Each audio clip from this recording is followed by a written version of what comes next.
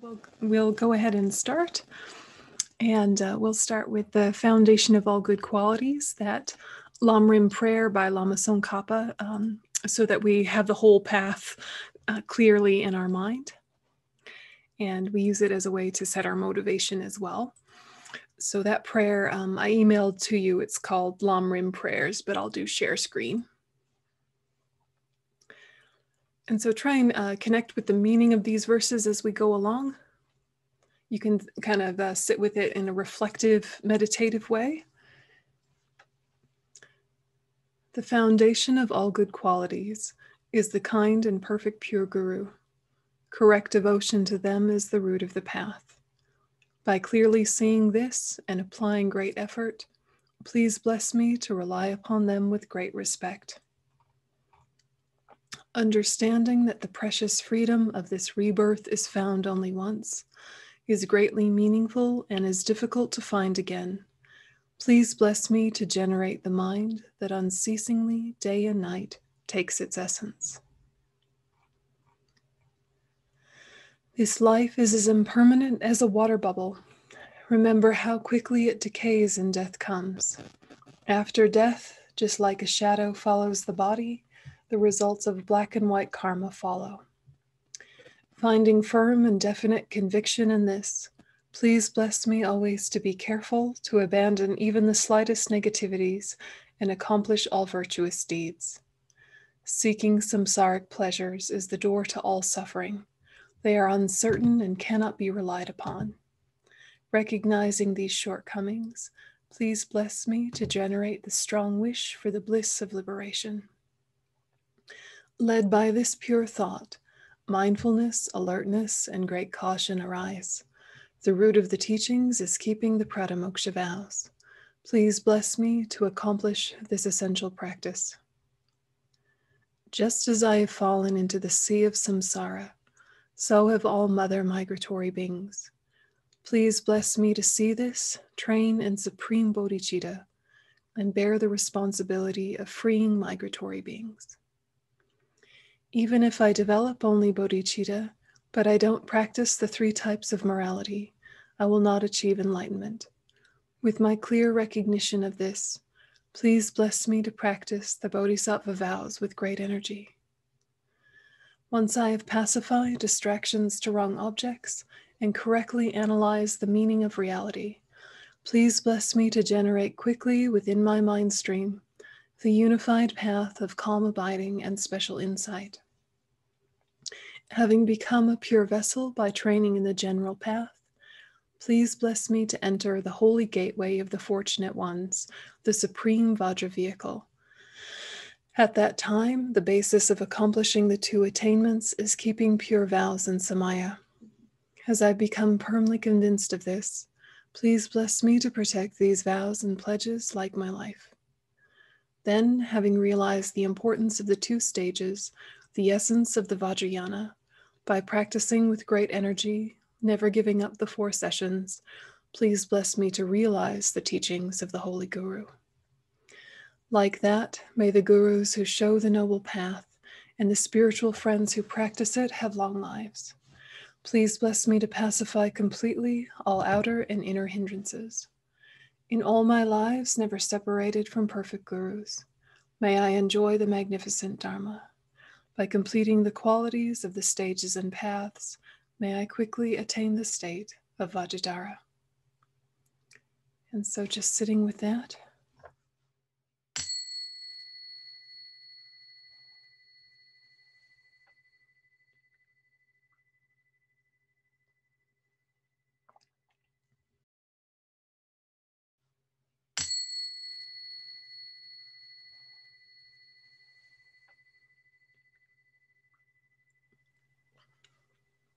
So, so that prayer is uh, really important, very popular, very common to find. Um, there are a lot of beautiful commentaries on it, but uh, for Islam Rim semester, I think it's really good to kind of remember the whole thing because we're diving into the chunks one by one, and so you don't kind of lose the context, what comes before, what comes next.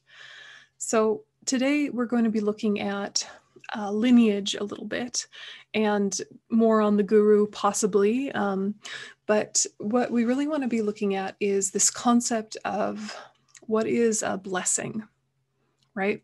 Um, in the prayer, it says, Please bless me this, please bless me that. It sounds very religious. It sounds very blind faith. It can sound very separate from our experience as modern people. But what's meant by blessing in Buddhism is an inner request for transformation, right? So you're asking the quote external to bless you, but really what you're saying is, May I be receptive to the wisdom I seek. You know, I'm seeking wisdom, I'm seeking transformation, I'm seeking development. And it's a outward reaching kind of energy, but it's actually an inward invitation of receptivity. So Buddhists define blessing as that which transforms the mind.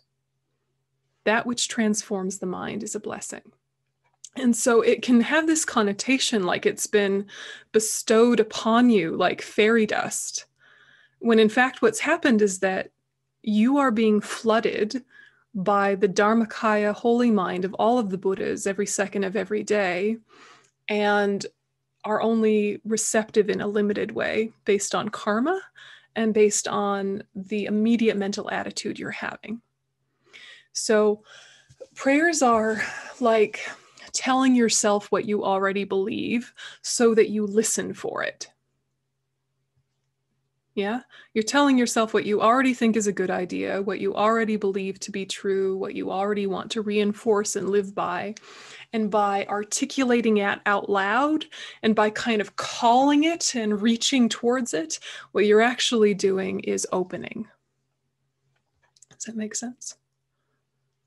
So of course, there is something, quote, external, something outside of yourself, wise and more developed, but your access of it is very much about the inner guru and the bridge that you're building with it. So, when we talk about blessings, it leads very naturally to then a discussion of lineage. And in Buddhism, lineage is a vital conversation if you don't know where a teaching came from and the context from which it was taught. Um, you're missing out on a huge part of the story. If you look at, for example, the three turnings of the wheel, divorced from context, you think the Buddha is teaching three different things that are seemingly contradictory if you realize that he's teaching three levels of subtlety to suit the minds of the people in front of him, you see it as very skillful means and brilliant. Um, you can see it as okay, here's what I intellectually can hold, but then here's what I can emotionally process or experientially process. And there's a little bit of space between the two. So intellectually, I'll be up here, and then gradually in my heart, I will be here, and eventually they will meet. But the Buddha is very skillful to understand that we are led in a gradual way and that we're not all in the same place either. So, lineage is important because you want to understand what is this person's relationship to the Buddha?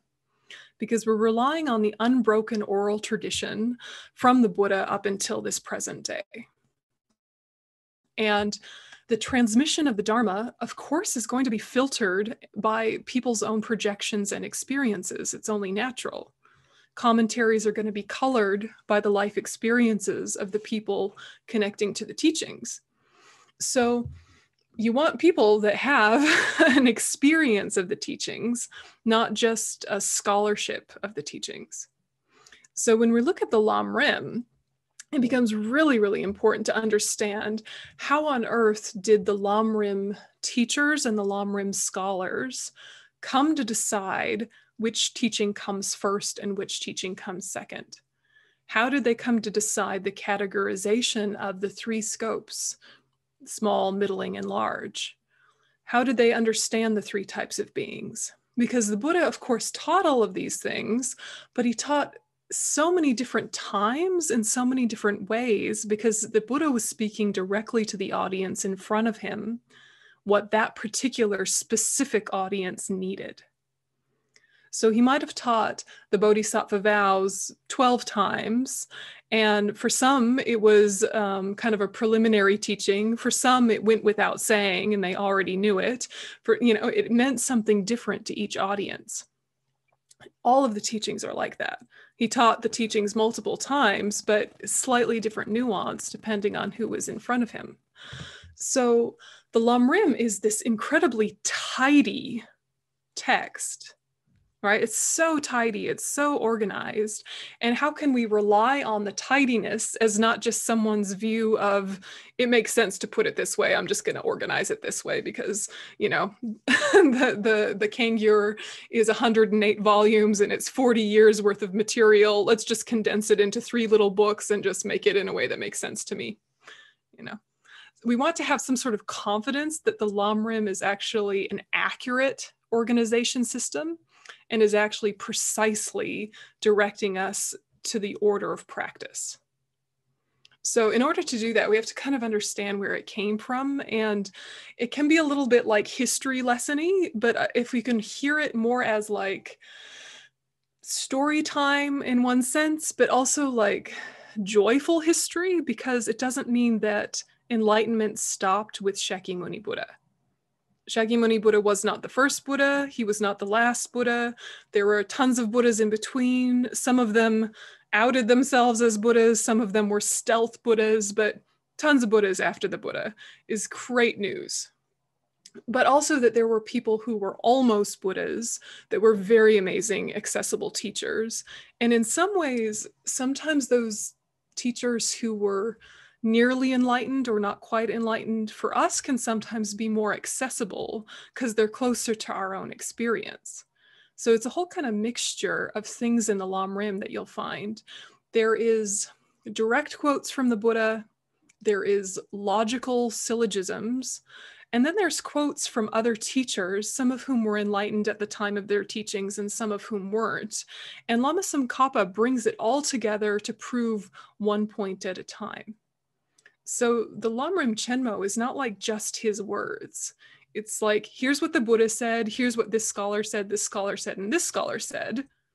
Here's a common argument. Here's a common example. Here's some poetry. Here's some practice advice. And next. You know, it's incredibly elegant the way it's been put together. So I'll just give us a little background. In your book, Practicing the Path, I'm just going to read a really short section. It starts on page 12, and I'll put it on the screen, but if you want your own in front of you, it starts on page 12.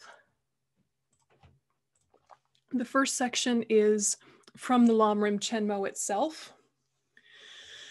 I prostrate to the Guru Manjushri, body produced from millions of excellent virtues, speech fulfilling the wishes of countless sentient beings, mind seeing all objects of knowledge as they exist, I prostrate to Shakyamuni Buddha. So that's from the Lamrim Chenmo itself. That's what Lama Tsongkhapa said at the very beginning of the text. Then Yangsi Rinpoche, who wrote this commentary, says, According to custom, a philosophical text in a, the Tibetan tradition begins with lines of praise, the author's commitment to complete the writing, and words of encouragement for the student to study and practice the subject matter. This, the praise may be dedicated to Manjushri, or to all the Buddhas and Bodhisattvas, or to any of them. The object of praise depends on the subject matter. Texts from the Vinaya Pitaka traditionally begin with a praise to Shakyamuni Buddha. Texts from the Sutra Pitaka traditionally begin with lines of praise to the Buddhas and Bodhisattvas. And texts from the Abhidharma Pitaka often begin with lines of praise to Manjushri. Alternatively, we can say that when the praise is directed to Shakyamuni Buddha, it indicates that the subject of the text will be the higher training in ethics. When the praise is directed to the Buddhas and Bodhisattvas, the subject matter will be the higher training in concentration. When the text begins with praise to Manjushri, the subject matter will be the training in higher wisdom. So these praises and these prostrations, these homages, these are not accidental or just kind of romantic connection with, with whatever teaching or deity. They're specifically indicating what the subject matter is going to be. So the Lamrim begins with the words Namo Guru Manjughoshaya, which is a line of homage in Sanskrit. The Sanskrit is used in order to create a connection to the source language in the mind of the reader, to encourage receptivity to the blessings of this particular text, and also to establish the authority of the text as having been translated from the original language. The translation of this particular Sanskrit line is To the Guru, Manjushri, I prostrate. Arya Manjushri and Lama Tsongkhapa had an extremely close relationship, that of teacher and disciple. Lama Tsongkhapa received extensive teachings from Arya Manjushri on both the profound view of wisdom and the extensive method of conduct, and thus he offers the first line of praise to Arya Manjushri, his guru. The second line of praise is offered to the body of Shakyamuni Buddha. This is followed by praise of the speech, which fulfills all the wishes of sentient beings, and praise to the holy mind of Buddha, which sees all existence exactly as it is. These lines of praise are meant to indicate to us that enlightenment is not self arisen, but rather from results from causes and conditions that are virtuous by nature. These causes and conditions are the determination to emerge from cyclic existence or the mind of renunciation the wish to attain enlightenment solely for the welfare of others, or the mind of bodhicitta, and the wisdom realizing emptiness. These, in turn, come forth as a result of extensive listening to the teachings, cultivation of the understanding of the teachings, and subsequent meditation upon them. The result of the complete accumulation of the merit of virtue and the merit of wisdom is the enlightened holy body, holy speech, and holy mind. If we reflect in this way on the significance of these lines of praise, a sense of faith and respect will arise easily, and there will be much greater meaning in the praise and prostrations that we offer. The next stanzas of praise in Lamrim Chenmo are offered to Arya Manjushri and Arya Maitreya, and then to Nagarjuna and Asanga, who are considered the great revivers of the teachings of Buddha. The main lineage of the profound path of wisdom begins with Manjushri and is passed to Nagarjuna. In the same way, the lineage of extensive path of method is passed from Shakyamuni to Maitreya and then Asanga. Nagarjuna came about 400 years after the passing of Buddha, and Asanga came about 500 years after that. Both were foretold by the Buddha or prophesized. These two lineages were eventually combined in Lama Atisha, who was regarded as the treasury of the essential advice of Buddha. The last verse of praise pays homage to the eyes that view all the vast teachings, the spiritual teachers, Lama Tsongkhapa, all the direct and indirect gurus, the Kadampas of the textual lineage, and the Kadampas of the instruction lineage. These lineage holders and one's own root guru are considered to be the supreme gateway to liberation. The next stanza addresses Lama Tsongkhapa's personal reasons for undertaking the writing of this text and his pledge of commitment to writing it. Earlier, we discussed the external conditions that contributed to its writing, etc. Arya Manjushri's involvement, auspicious gathering, and so forth. In addition to that, the internal conditions were Lama Tsongkhapa's strong wish to clarify the ignorance of sentient beings, his wish to show that the various teachings of the Buddha are the one medicine eliminating all suffering, and his wish to complete the offering of practice to his teachers. The promise to compose the text is followed by the presentation of the description of the disciple who is qualified to receive these teachings. Such a disciple must be blessed with a perfect human rebirth, must have the wish to make that rebirth meaningful, must possess a mind not darkened by bias, he or she must also be honest and blessed with the ability to discriminate between what is right and what is wrong. You know, that kind of nutshell presentation, that can go on for days and days if you're doing um, the Lamrim Chenmo over a long period of time. There's uh, tons of lineage holders. There's a lot of influences for those main kind of trailblazers. But what's interesting is that Buddha Shakyamuni prophesized Nagarjuna and Asanga He said basically, don't worry, the Dharma is going to go strong for about 300, 400 years. And then there's not going to be a lot of people that remember the whole teachings. It's going to start to degenerate, it's going to start to fall apart. There will be corruption and misunderstandings and wrong views and influences from corrupt individuals. And then there will be another person who and will tidy it up again. So he was basically saying it's only natural that teachings will become degraded if ordinary people are the only ones holding them. You know, even with the best of intentions, people bring in their own bias and they bring in their own misunderstandings. But there will be enlightened beings who then take my teachings again, clarify them, tidy them up, and move them forward to the next generations. So it's it's reassuring. It's interesting. Um, sometimes I've quoted that famous quote from um, Padmasambhava, Guru Rinpoche, who brought Buddhism from India to Tibet. Uh, he prophesies that, you know, when our um, people are scattered like ants throughout the world, and the iron horse cuts through the land, and uh, the iron bird flies, then the Buddha Dharma will come to the land of the red faced people right? And that was, um, you know, a long time ago. He prophesied that like a thousand years ago. And here we are today with many Tibetan refugees, but Buddhism everywhere. So it's interesting. It's interesting that it's not like things are fated, it's not like things are inevitable. It's that an enlightened mind can see how things are trending. Yeah, so it's not like you know the future is already set in stone but we can already see the way things are going and the clearer our minds become the farther ahead we can see. Uh, does the importance of lineage make sense or do you not really get why it's so important? Sometimes in academic circles you know people rely on source material and they cite all of their sources in the research papers etc but sometimes people just kind of come up with their own philosophy randomly out of nowhere and speak it as if it's truth without kind of naming the wisdom that came before it. You know, you see that a lot in like what self help sections of bookstores and pop psychology and things like that. And sometimes they've got good wisdom in there, right? Like sometimes it's good stuff mixed in with all sorts of other stuff and materialism and whatever. But they're not naming their sources. They're saying as if they came up with it all by themselves. And it's lacks power and depth that way. And it's harder to follow up when you have confusion.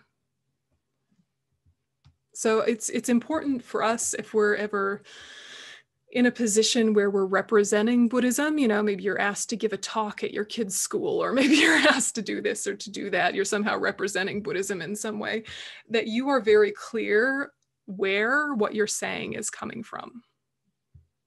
You know, you're very clear. It's like, okay, Buddhism says compassion is good. Okay, but who specifically are you relying on when you're explaining it to these other people? You know, we don't want to just kind of be lazy about it, I guess, for lack of a better word. The, the people that will contribute to the degeneration of the Dharma are not non Buddhists. it's going to be Buddhists who contribute to the degeneration of the Dharma by having half understandings that they share in a lazy, unspecific, untidy way, probably with good intentions. But you know, we need to be really careful that if we're in any way representing Buddhism, even if we don't identify as Buddhist, but just someone who studies Buddhism, that we're very careful about what we say and that we know where to trace back what we're saying to. So um, Yael was asking what's the literal meaning of the Lam Rim Chenmo. So Lam and Rim mean path stages or stages of the path. And then Chen is the word for like great or big. And Mo, treatise. So it's the great treatise on the stages of the path to enlightenment. And we would say that all in English every time, but the Tibetan is so much shorter, we shortcut. So Lam Rim Chenmo, the great treatise on the stages of the path to enlightenment by Lama Tsongkhapa. Treatise is like, uh, I don't know, a big work, you know, like a dissertation, you know, it's a big work, a treatise. Yeah. So Lamrim in general is like a category of teachings, just like Lojong is like the mind training, thought transformation teachings, and lots of different authors have their own, you know, kind of texts about it. Lamrim is a general term that means stages of the path teachings, derived in some way from Lama Atisha, but Lamrim Chenmo is specifically talking about Lama Tsongkhapa's work, if that helps. So um, for your homework, before I forget, in practicing the path, um, it's useful to read a little bit more about Lama Atisha and Lama Tsongkhapa. So that's pages 15 to 22. And then pages 45 to 52 is more on the guru and specific advice for finding a guru. Pages 45 to 52. So, um, so that'd be useful um, before next time if you can. And um, you may or may not have had time to look at that outline that I emailed you, but I just wanted to show you it a little bit just so you understand its coolness. I did not make this outline. It's based on um, Liberation in the Palm of Your Hand by Pabongka Rinpoche, which is the commentary we used to use for Lamrim Chenmo. Um, it was based on the teachings of Pabongka Rinpoche like in the 20s and 30s, and it was one of the first Lamrim texts that we had in English we're using practicing the path because it's so much more accessible in terms of its English translation and its kind of modern presentation. The outline is basically the same because it's just the Lamrim Chenmo outline.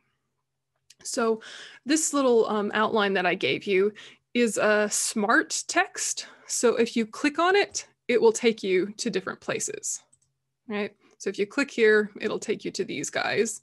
And if you click on the big one, it'll take you backwards. And we're going to kind of um, go a little bit into Atisha, but you'll read more on, on that in your own time. The greatness of the Dharma, given to increase one's respect for the instruction. Basically, the whole point of this section is the teachings are free from contradiction and are as taught as medicine for one person how to teach and listen to the teachings. We talked a little bit about this last week. Basically, to not be biased, to listen with an open mind, to have respect. Mostly, what we're going to look at is the sequence in which disciples are taught.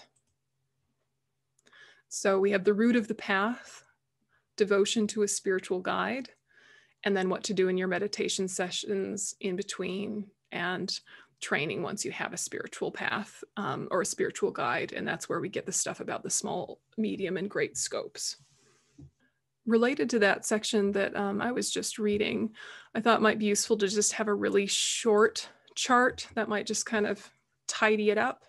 So we have Shakyamuni Buddha, right, who taught the three mothers the perfection of wisdom sutras, which taught both the profound view and the extensive deeds, meaning method and wisdom, that Shakyamuni Buddha taught both explicitly and implicitly. And then those were kind of held by these two Buddhas. So Maitreya, although a deity, a, a, full Buddha himself, he appeared as a bodhisattva at the time of the Buddha, and the lineage of extensive deeds was transmitted through him. So the method side was transmitted through Maitreya, the Buddha of loving kindness. And then, although a deity, he has appeared as a bodhisattva at the time of the Buddha, and the lineage of profound view was transmitted through him, Manjushri, so the Buddha of wisdom. So these are two Buddhas who kind of showed the aspect or pretended to be bodhisattvas still training when Buddha was there mostly because it's more efficient to do so. You only kind of want one Buddha talking at a time and then others modeling, you know, senior student behavior, junior student behavior, etc. But both of these, uh, uh, Maitreya and Manjushri, are fully enlightened Buddhas in their own pure realms. And at this stage, we don't see them as human beings walking around on the earth. At this stage, they're hanging out in their pure lands, which are mental states, of course. And so to access them, we had Asanga and Nagarjuna, who were in human form, who were real historical figures who actually existed in flesh. And after many years of practice, Asanga met Maitreya directly, went with him to Tushita heaven, the Ganden Pure Land, where he received the five great teachings, the ornament of clear realization, etc., which explicitly teaches the extensive deeds. So the whole method side of the path clarified by Asanga. And then also prophesied by the Buddha was Nagarjuna. And through the blessing of Manjushri, he clarified the meaning of the Buddhist teachings on the profound view in the teachings on Madhyamaka. So Nagarjuna, you guys will remember, was our main middle way consequence school scholar. And they passed those on to their own disciples, Supanaditha and Vidyakokila, who combined in Atisha. So all of so both sides, method and wisdom, came together with Lama Atisha. Lama Atisha was invited to Tibet by Jangchub Ö in order to revive the Dharma. He had many auspicious visions and received the blessings of the Buddhas and deities. And in writing The Lamp for the Path to Enlightenment, he combined the teachings of the two lineages and also the lineage of the wave of conduct, which was passed from Manjushri to Shantideva. He clarified how all the teachings of the Buddha are not contradictory, especially in relation to Sutra and Tantra. And then after Lama Atisha came many highly realized teachers, including Dromtönpa and other kind of Kadampa masters. And then these lineages split again. And it was then with Lama Tsongkhapa that they got tidied up and clarified. So you see the time gap, right? 982 and then 1357. So there was a bit of lag time um, where the teachings of Lama Atisha were the main teachings that held all the stages of the path. And then they got a little bit confused again, and Lama Tsongkhapa brought them together again. So he received the three principles of the path that we did our retreat on a couple years ago, directly from Manjushri, and combined this with a commentary on Atisha's Lamp for the Path. And then he wrote Lamrim Chenmo, which was passed down through various highly realized teachers including Pabongka Rinpoche, Trijang Rinpoche, our own teachers, His Holiness, etc. Okay, so if you just kind of think basically what keeps happening is the teachings are tidy and then they get confused and then they get tidied and then they get confused and then they get tidied. And we want to just always be asking who is the one tidying them? Are they qualified to do so?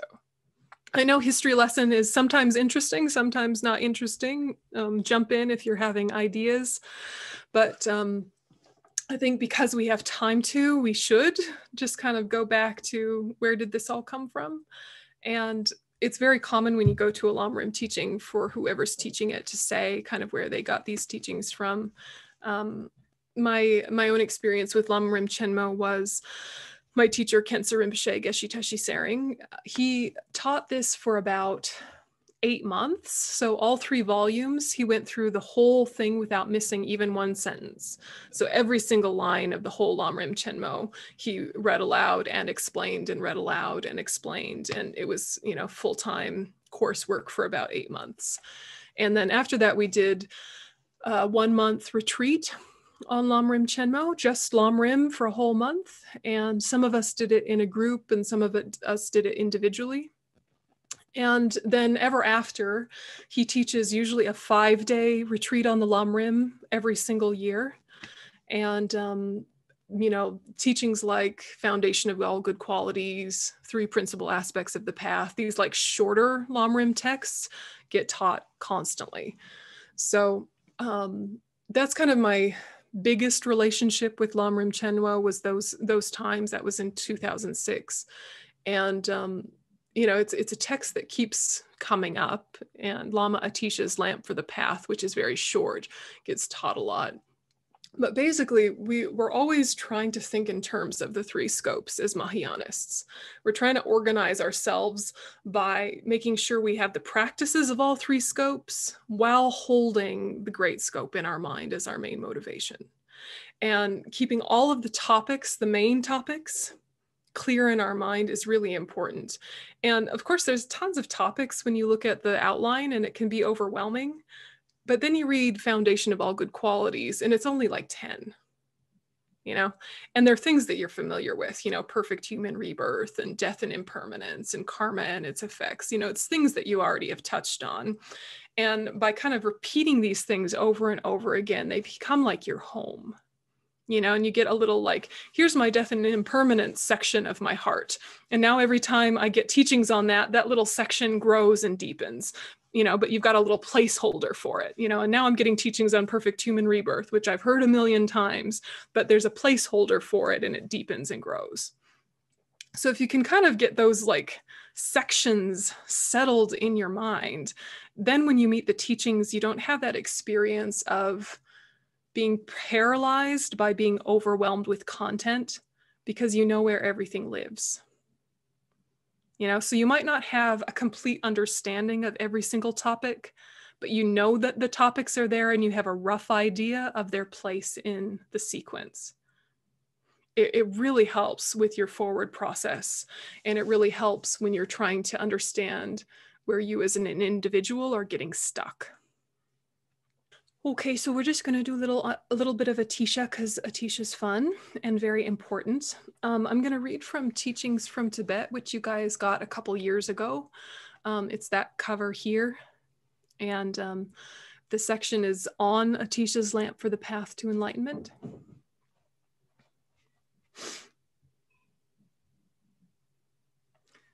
So of course, before listening to this teaching, first generate bodhicitta, thinking, I want to receive enlightenment for the benefit of all sentient beings.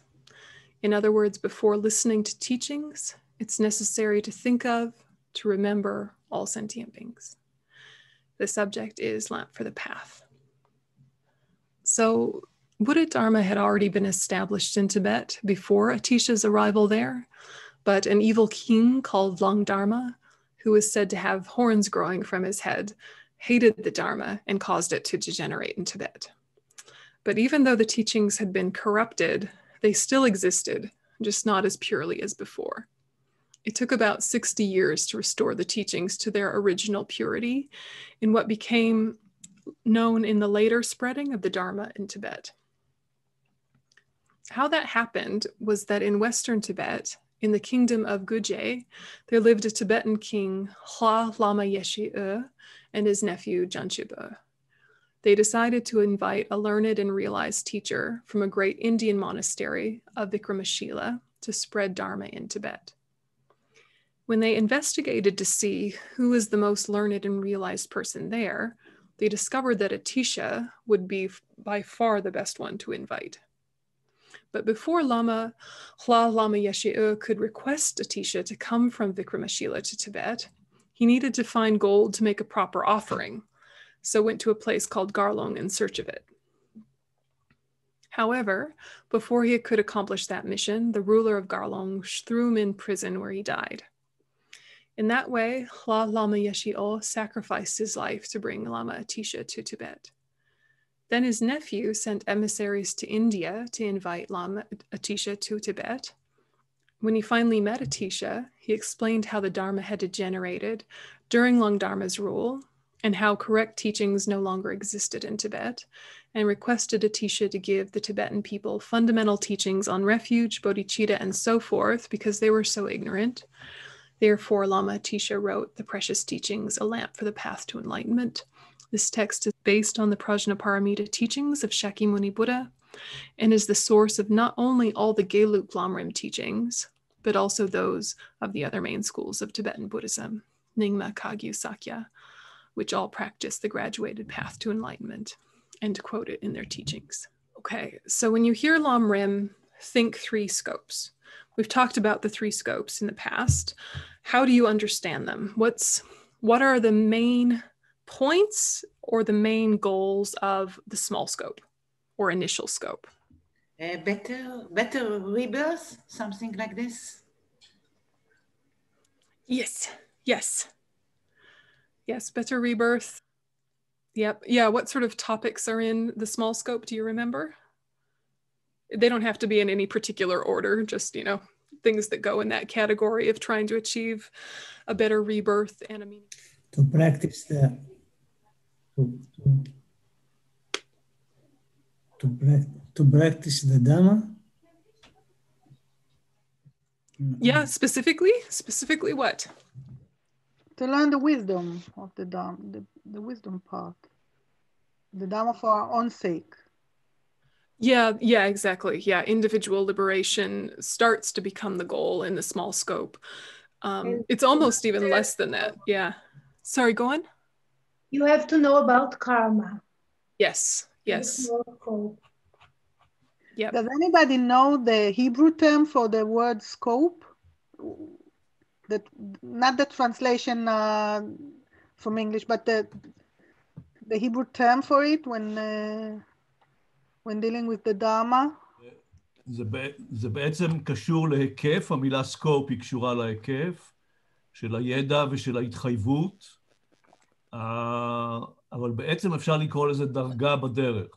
זה כמו, it's, a, it's equally to the stages. It's a kind of uh, something that summarizes uh, bunches of the stages. Is it the same word that you use for the sight in a gun? because in English, you know, you have a gun and you have the thing on top of the gun is called a scope. And yeah. you know, yeah, is it the same word? Yeah. And so it it's like to do with um, um, with intention. It, it's the same uh, root as intention.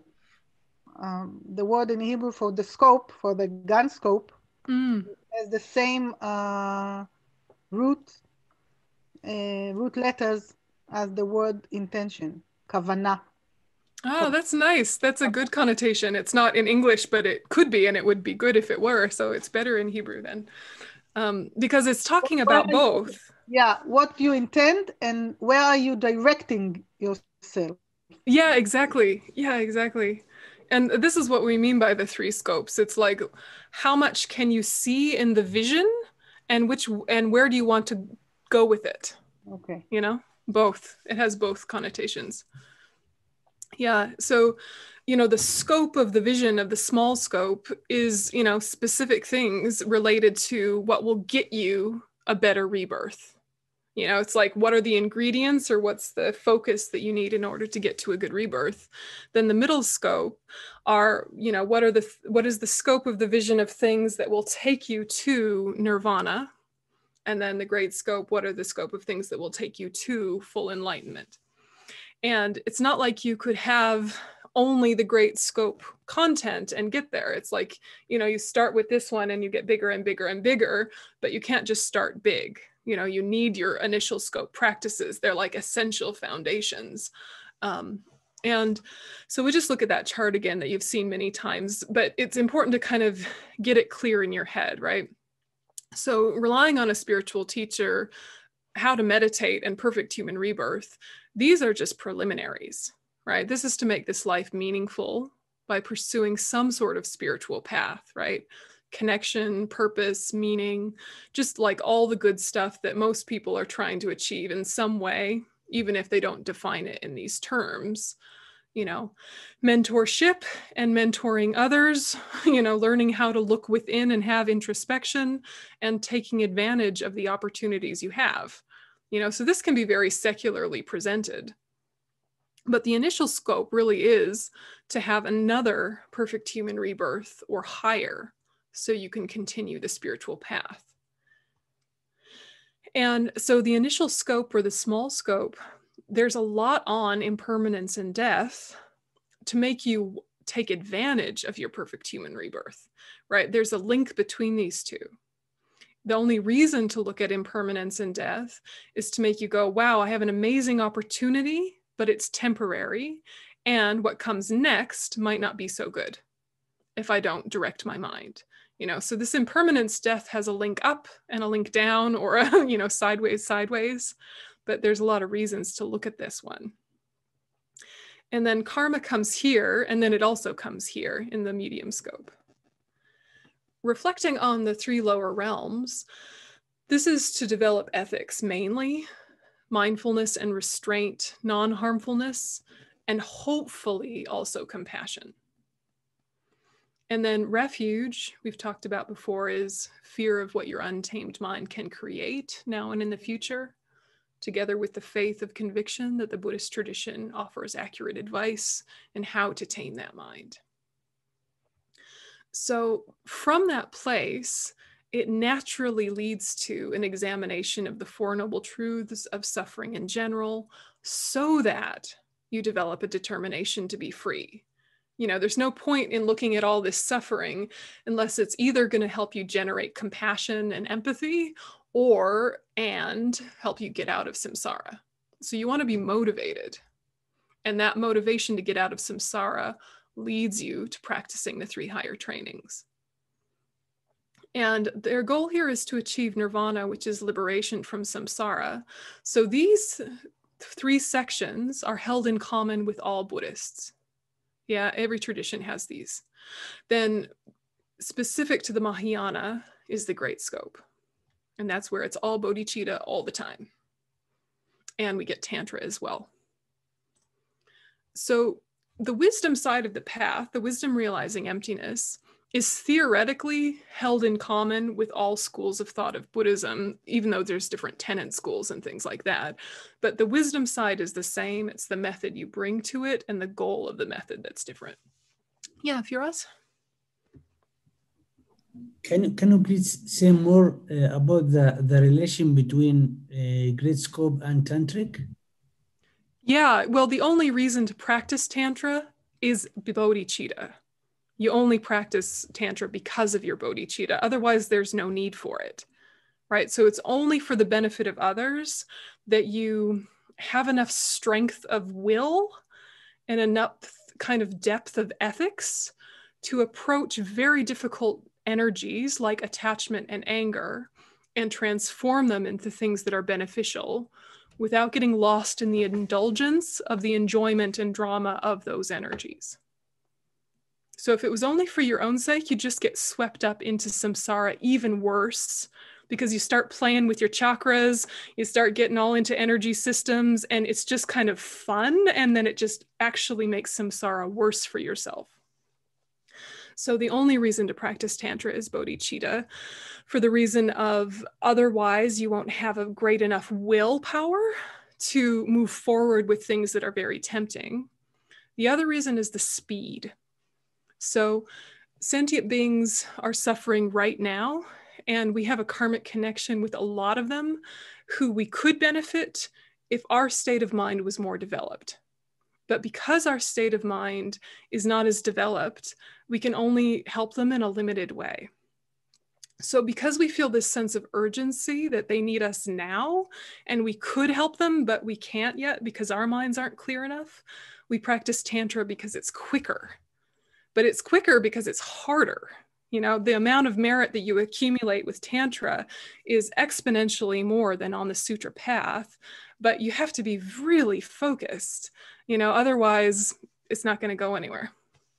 So, Tantra is like Mahayana plus or Mahayana quick. yeah. And um, it's something that requires very stable ethics and good concentration and solid renunciation bodhicitta. Theoretically, you've re- realized renunciation bodhicitta and the correct view before you practice Tantra, but you at least have to have a really, really clear intellectual understanding and a very solid conviction in bodhicitta before practicing it. So, lots and lots of topics in Buddhism can be practiced by non Buddhists, right? Most topics in Buddhism can be practiced by non Buddhists. Tantra is not one of them. You absolutely need a teacher, um, or you can really go down a bad road. You absolutely need a deep heart connection with refuge. Yeah. Because um, you're, you're kind of playing with fire. Yeah, I don't know. Did that answer your question, or were you coming at it from a different angle? No, that's that's fine. Understand yeah. intellectually. Yeah. And, you know, I mean, it's such a delicate word, it's such a misunderstood word. The iconography of Tantra confuses people.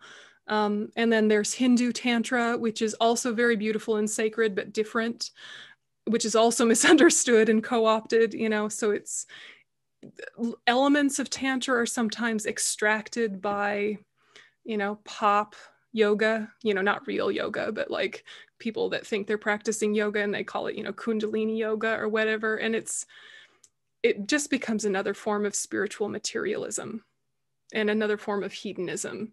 But the danger is you're not even identifying it correctly. Like if you eat chocolate cake, you know that you're being hedonistic and you can just enjoy it and kind of like work on your attachment.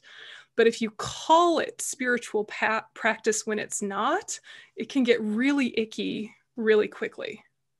You know, and so there is a lot of that like co opting and extracting tiny parts of Tantra used in this kind of uninformed, really ignorant way, and it's very dangerous. Um, so, anyway, if you see it, run, right? Run the other way. Yeah. And if people have a, a, predisposition to mental illness of a severe type, like schizophrenia or like different dissociative disorders, sometimes practicing Tantra too soon can trigger a psychotic break. So, anyway, I know it's, a, it's, I'm being heavy, but it's important to realize that um, you're probably all qualified to practice Tantra if you had a guru. You're sane enough, kind enough people, but you really need a guru, a Vajrayana guru, not a regular sutra guru, and that's that's huge. Yeah. Yeah. So anyway, the three scopes. Um, when you hear La- Lam Rim, think three scopes. Mm-hmm. Um, okay, so more more about the structure of the Lam Rim that you wanted to ask about, or kind of where different things fit, or the link between things. Can Can I ask you then? Yeah. I'm asking if is it it's it's like a textbook for uh, non-religious or simple people that learning. It's it's it's like a, a sim, simple uh, way of teaching the the the, the Dharma.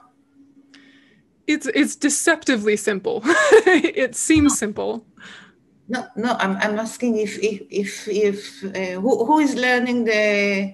Is it a part of? In a way, it's very practical, and it seems quite simple. Like one, two, three, four, five, six. Like it seems quite simple, but it actually is advanced, um, and the Lam Rim doesn't explicitly talk about Tantra, but it points to Tantra. And basically, what we do in the nunnery is we usually study Uh, we had like a five to seven year study program that would just kind of rotate for a while. And then you know anyway there was variations but basically full-time study for seven years. The first three years were usually like minds and mental factors and the seven types of awareness and tenets which you know are complicated things but we actually learned those first. Like how does the mind work? What's the general idea about reality? What's the self it's you know that's what we and then we went into Lam Rim like the fourth or fifth year we did Lam Rim. Wow, okay. And then after Lam Rim, then we would start doing tantric commentaries and tantric practice. Um, so it was always like uh, foundational knowledge, even though it was intellectually harder to understand Lorig and tenants, right? Lorig and tenants are hard to understand intellectually, but they're actually more foundational understanding about like the worldview. Once you kind of understand about the worldview then you can take that knowledge into the lam rim which is intellectually easier but much harder in terms of practice. Does that make i don't know does that make sense? Yeah yeah thank you. Yeah. Yeah. Yeah. Like that so it's not like they teach the lam rim to little kids you know? That's it's um it needs a lot of context for it to land right I think that uh, Sigalit asked also about who is the audience. Is it has to be only a monastic uh, studies, or can it be a secular or studied by by people like us? I mean, it normally wouldn't be taught in a secular way, but certainly it could be taught to lay people, just lay Buddhist people. Yeah, lay Buddhist people and monks and nuns. Um, you know lay buddhist people who are kind of hardcore and really like their practice and are like into it. Um, it's taught in a it's really not taught in a secular way but it can be taught to a secular audience. Do you, do you feel the distinction? It's like here here it is straight But then if you're a totally secular person, you just apply what makes sense to you from that. You know, so my my approach is to try and teach in a somewhat secular way with you guys because I know not everyone is Buddhist, but some of the topics really do rely on an assumption or a belief in cause and effect, karma, and past and future lives. And so the topics that rely on that worldview, you take with a grain of salt. You know, if it works for you, take it on board. If it doesn't work for you, you set it aside. So, you know, it's taught in a non secular way, but you can hear it in a secular way if you want to. Yeah, it's your choice. I don't know. Is that is that what you meant, or were you? Yeah, ish. Yeah, it's it's profound stuff. You know, it's really. Um, when I did the retreat, it was much harder than I thought it would be. It was much harder than a single pointed concentration retreat. It was harder than some of my highest yoga tantra retreats. It was really confronting to go through the Lam Rim experientially, even though intellectually, uh, you know, I get it, no, no problem. But yeah, experientially, it's really confronting some of our deepest habits of self soothing, some of our deepest habits of, I don't know, connection in good and bad ways. It, it, confronts so much about what our assumptions about what gives us happiness and suffering are. It's really, it's deep stuff. But only if you let it be. Otherwise, it's just kind of a intellectual exercise. So, um, so have a little look at those sections that I mentioned before, a little bit more about Lama Atisha and Lama Tsongkhapa. It, it's useful to just kind of connect with at least those two. Um, and then more on the guru next week, and then we'll get into perfect human rebirth and things like that.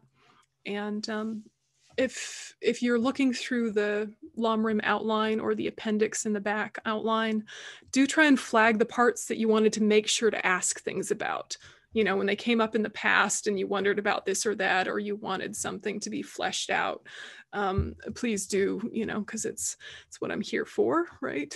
so if there's bits that you wanted to go into more deeply, please tell me. And um, we'll just do a short dedication. So this final Lamrim dedication was also written by Lama Tsongkhapa. And I'll just read the first two verses. From my two collections, vast is space, that I've amassed from working with effort at this practice for a great length of time. May I become the chief leading Buddha for all those whose mind's wisdom eye is blinded by ignorance.